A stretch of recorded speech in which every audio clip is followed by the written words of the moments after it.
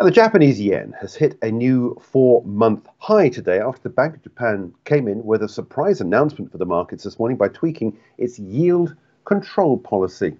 Let's take a look at what happened. The bank decided to allow the 10 year bond yield to move 50 basis points on either side of its 0% target, wider than the previous 25 basis point band that it had in place. The move caught investors off guard who hadn't expected any changes to the yield curve control until the Bank of Japan governor, Kuroda, steps down in April. Now, following the announcement, shares fell sharply while the yen and bond yields spiked. I want to show you, first of all, the Nikkei 225 today uh, on a chart because this is significant here.